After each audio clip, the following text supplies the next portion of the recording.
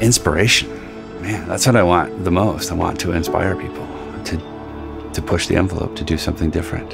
If you keep making the same thing over and over, that's not being creative. That's making the same thing over and over. Think about the greatest songs ever written. And were they like something else? Most of them were not. Most of them broke the mold. They were different. And that's what made them great. And we're trying to achieve the same thing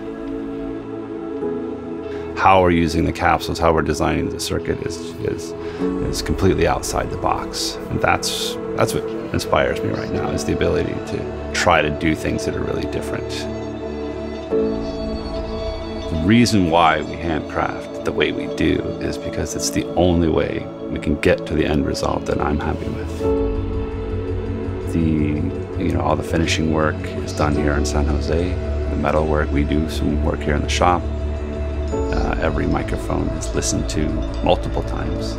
They're all aged for hours, days uh, on end. Each one is a, it's a piece of art in of itself, you know.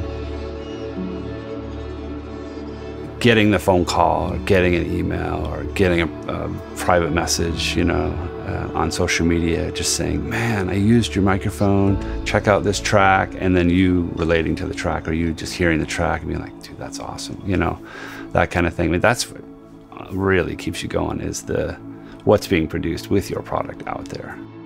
It gives meaning to all the effort and hard work that you put into something.